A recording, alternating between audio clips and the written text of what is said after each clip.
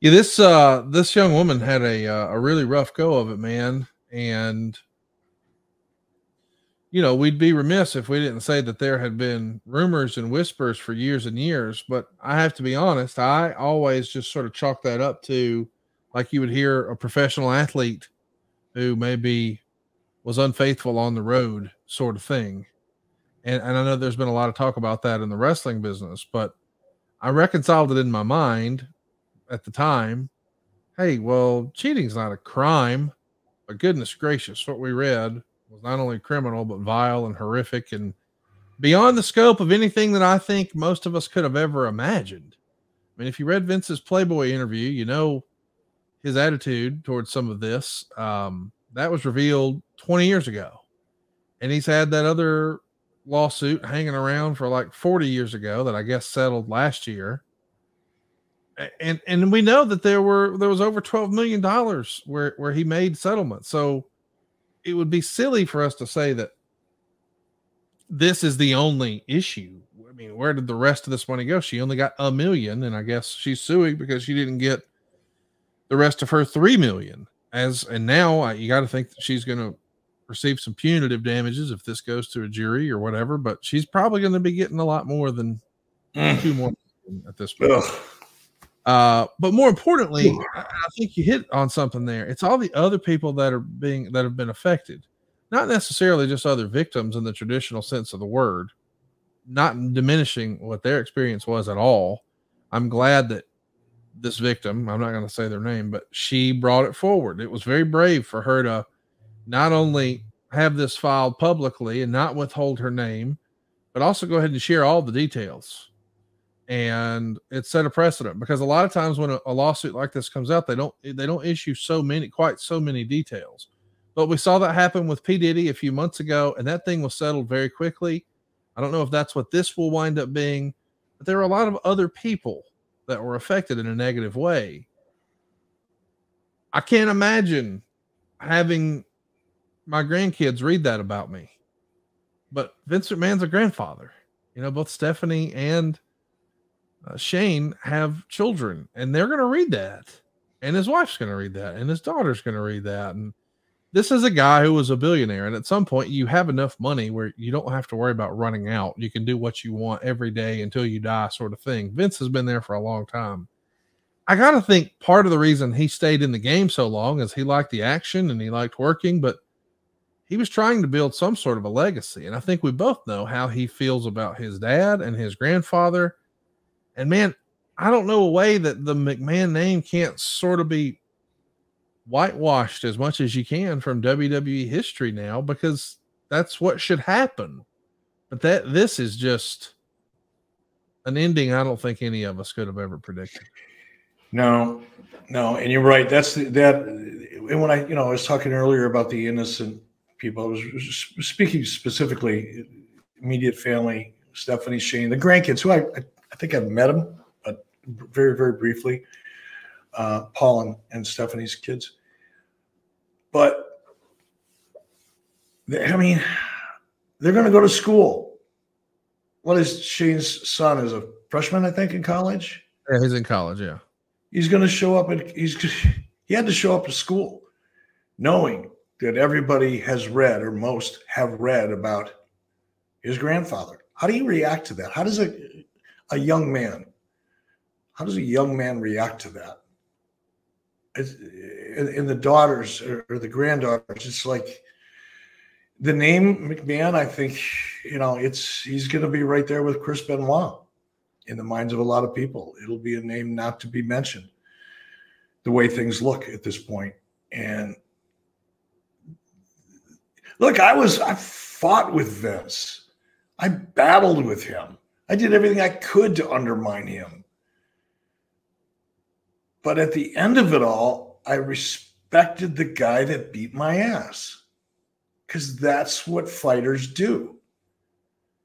If somebody's good enough to beat me at something, you've got to respect their abilities. And even for me, this is difficult. I can't even imagine what it's like for for the kids and the grandkids. It's just disgusting. And the name, you talked about it. Man, you go into Vince's office and he's got a picture of his dad and his grandfather and newspaper articles from, you know, things that his father accomplished and his grandfather accomplished. and Gone. Dark closet, stick it in a box and hide it. Nobody wants to be reminded anymore. I mean, was it just today they wiped him off? They wiped Vince McMahon off the WWE and TKO corporate website. He's he didn't exist starting today. And that's not going to change. Nobody's going to no. change their mind. Harvey Weinstein's not going to get an award for anything. You know what I mean? He's done. Nobody, nobody, nobody wants to be seen having dinner with Harvey Weinstein whenever that happens, if it ever happens. And that's the same fate, but it's it was self-inflicted. It was self-inflicted. Nobody did it to him. Bret, remember Bret screwed Bret? Well, Vince screwed Bret. Vince. It's just. It's I, I don't even want to say that. That's how bad it, it is.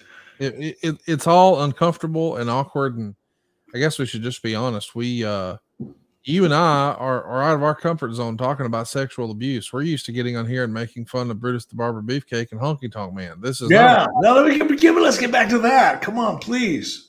But I feel like you know we need to have the conversation because it is going to have a lot of implications.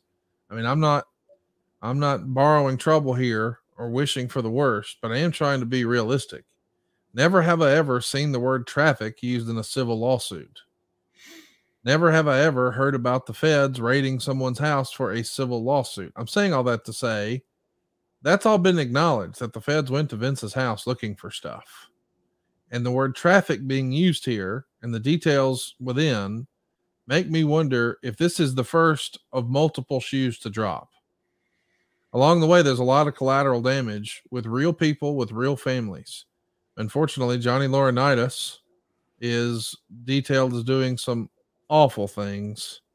He got the hatchet immediately when this rumor first popped up back in the summer of 2022.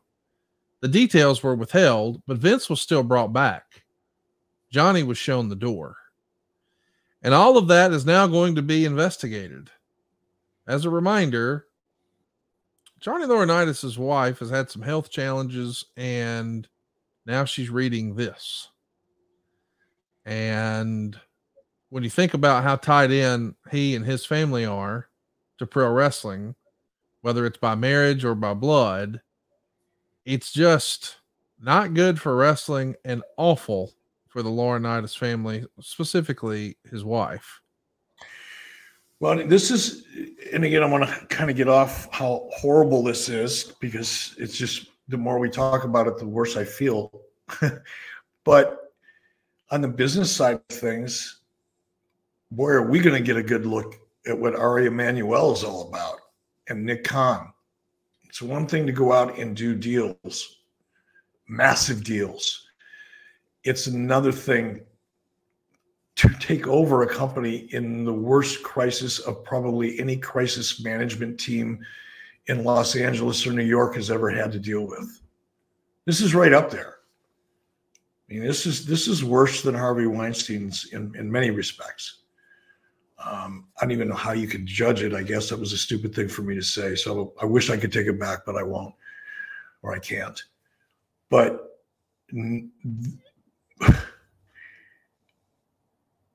two years ago or three years ago, whatever it was, Ari Emanuel would have probably chuckled at the idea that he was going to be in the wrestling business someday. No doubt. Nick Khan probably didn't have any idea six or seven or eight years ago when he was rocking and rolling in Hollywood that he would be who he is today in the wrestling business. These people are new to the game. Yes. And oh, by the way, look what we just inherited. So we're going to find out what they're all about.